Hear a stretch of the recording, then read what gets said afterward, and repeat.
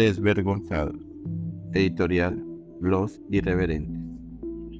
No hay mejor adjetivo para referirse a los cuestionados presidentes del Senado y de la Cámara de Representantes, Iván Name y Andrés Calle.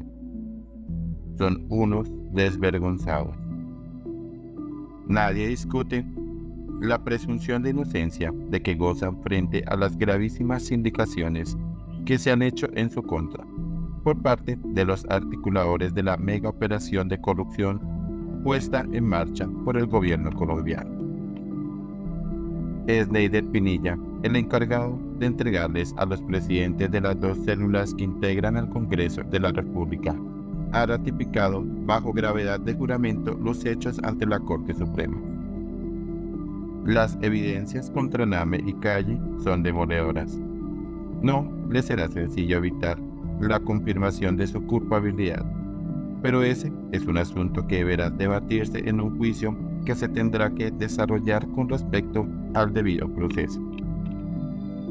Pero el asunto, además de legal, es de estética. Resulta inaceptable que quienes encabezan las dos corporaciones de la rama legislativa de Colombia carguen con semejante lastre.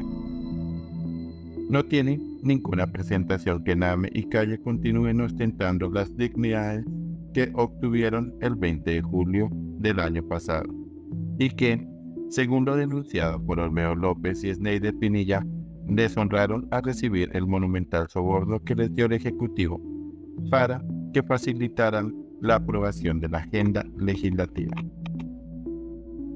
La Corte Suprema Colombiana, que es la encargada de investigar a los congresistas, no merece ningún respeto.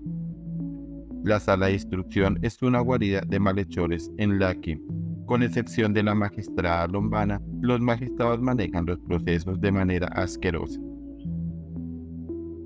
Basta mirar la forma como el togado César Reyes y sus compinches han manipulado las investigaciones contra el delincuente Armando Benedetti para confirmar el nivel de corrupción que impera en aquella sala. La Corte reconoció las pruebas contra Name y Calle hace más de un mes y ni siquiera han sido llamados a indagatoria, siendo que ese tipo de diligencia, las indagatorias son ante todo y sobre todo un medio de defensa. Los hechos deben ser aclarados cuanto antes. Los parlamentarios mencionados que no han tenido el valor civil de ponerle la cara a la ciudadanía, tienen en su calidad de ciudadanos y de servidores públicos que responder ante la justicia. Pero mientras se aclara el asunto, esos individuos, Name y Calle, deberían hacer una mínima exhibición de dignidad renunciando a los cargos que ocupan. Desafortunadamente, el grueso de los políticos cree que renunciar es morir un poco y por eso como si de la vida misma se tratara, se aferran desesperadamente a sus empleos, sin importar las consecuencias ni el daño que le hacen a la institucionalidad.